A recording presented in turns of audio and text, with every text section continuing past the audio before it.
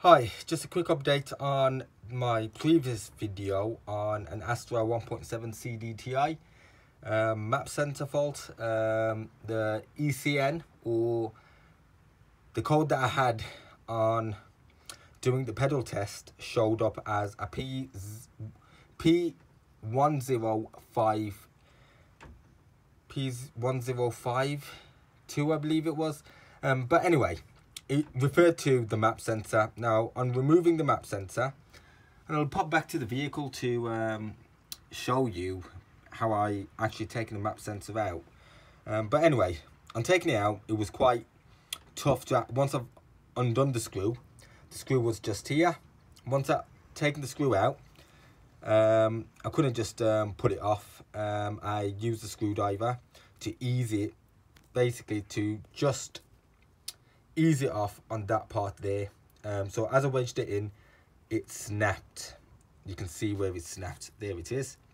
Now, given that it's a Saturday, it's difficult to bloody get another part. So I'm just going to have to somehow get it back in, put it back together until I can get another part.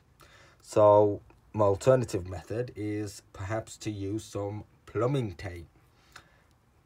And just put it back together, see how it goes basically. So I'm going to put some plumbing tape around that little edge there. Once I put some plumbing tape around it, um, I've cleaned it up with some carburetor cleaner. So the carburetor cleaner I've used is, there it is, some brake fluid, um, brake cleaner and some carburetor cleaner and it was extremely mucky on the inside. I don't know if you can see it, but it is a lot better than it was. It was extremely mucky inside there. Um, seems like some metal contacts. I know it works um, on a capacitive basis, so yeah, it was clogged up totally. So I, I suppose this is why I got the error code. Um, but anyway, what I'm going to do is I'll pop to the car, show you how I've taken it apart, and um, I'll put it back all together and um, see if it's done the job. But obviously, once I get a new one in, um, I'm pretty certain that should sort it out. But yeah, let's head over to the car.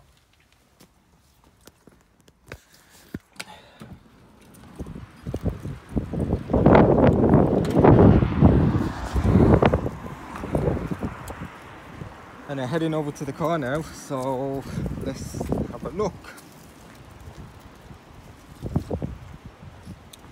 Here's the Astra now. You can see the location of the map sensor. There it is, in that gap there. So that, that's where the map sensor was located. Um, anyway, what I'll do is, I had to move, move the map sensor, the air duct, there it is, you can see that. I've placed on top of the engine to get access to this part here. And I think that's the swirl flap actuator. Now that is you just have to ease it out the way. There's a bit that goes there. You can see that little bit bit. Now that's actually attached to it. I don't know if you can see. I'm pointing right there. In fact i'll get the screwdriver.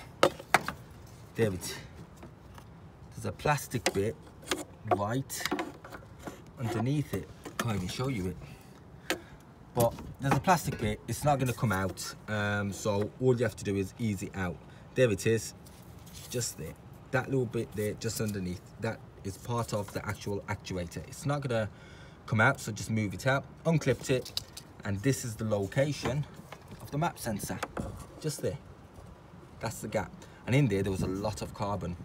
Now i know it goes it's part of the intake. So i've just sprayed some carb cleaner in there. Um, it was extremely mucky. Um, the part that snapped off is this section here. That part.